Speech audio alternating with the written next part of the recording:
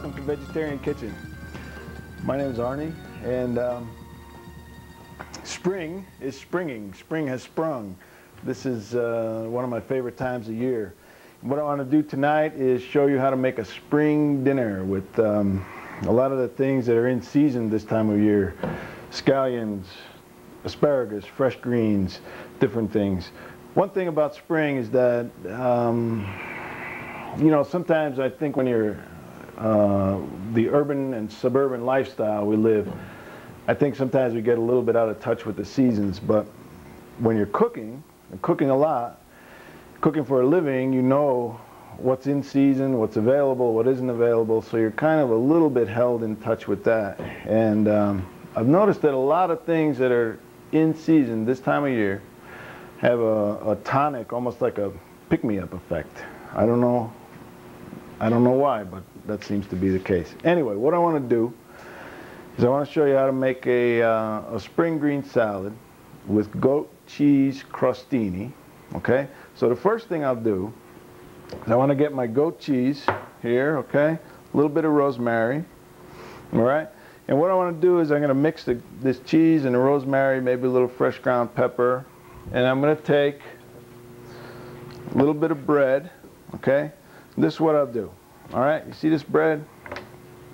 I'm to cut this into thin rounds, okay? Maybe quarter inch thick, all right? We'll make uh, half a dozen. All right, now, now I'll set these, just let these set here. And I take this chèvre cheese. Chèvre cheese is a goat cheese. It's a soft um, goat cheese. Has a fairly mild flavor, but distinctive. Mm, that goat cheese flavor is just, you know, you can't get it with anything else. So uh, I have a little bit of ground rosemary here. A lot of times I use a whole rosemary. But this, you can, if you have whole rosemary, just put it in your coffee grinder, hit it for a few seconds, make a ground rosemary, okay? Half a teaspoon. Okay, I'll mix it right in to the goat cheese. And see how soft it is? See how that mixes in there? All right, rosemary and goat cheese, splendid combination. Can't beat it. Okay, so mix that in. That's pretty good. See how nice and smooth that is? I have about two ounces of this chèvre cheese here. And I take a little bit of fresh pepper just to liven it up a little bit, you know? You don't need any salt in this. The cheese itself is fairly salty. Okay, so what I want to do is I take this bread and I spread a little bit of cheese on the bread. Thin, thin layer, okay? Just do that. It's real quick. I'm going to serve these crostini with the salad. And you can make these ahead of time. It's easy to do. They store really well. You can put them into a airtight container, you know, refrigerate them. And then just pop them in the oven a few minutes before, whoa, a few minutes before you serve it. All right, so I have my baking tray. Pop these right on there. All right, I'll just come over to the oven. 350 degree oven. Maybe 15 minutes or so. All right? Easy. Easy stuff to make. Okay, so I have some romaine lettuce, which is one of my favorites. What I like about romaine lettuce, it stays crisp. It's really crisp.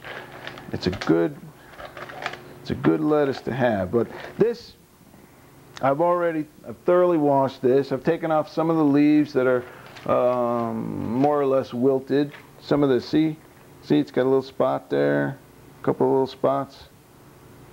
You can use that maybe uh, for yourself, not for your guests, okay? It's not bad, it's just not perfect. And since, um, you know, we want perfection, we're going to get it. All right, so I have a few leaves, okay? So what I want to do is just real, I'll do this by hand, you know, I just want to tear them into chunks, you know, discard, set aside the, the stems, all right? Just tear it into good sized pieces, Okay. Red pepper.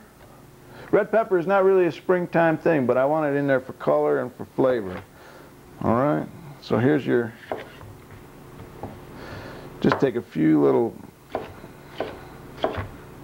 red pepper slices. You can see, slice them up. I want to keep them in a fairly large size.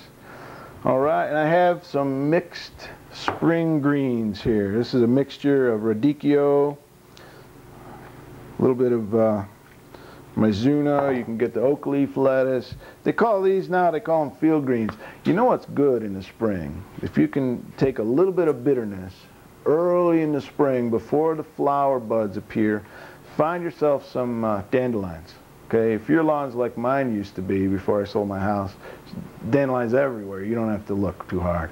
So, um, we'll try some of these, these vegetables right here. This is a real simple salad, okay? And then what I want to do is just put these, all of these greens and this red pepper. No, the red pepper I want to hold aside. Okay, use that more or less for a garnish. So just put them into a bowl, set these aside. Make a salad dressing, simple salad dressing. Take some olive oil, about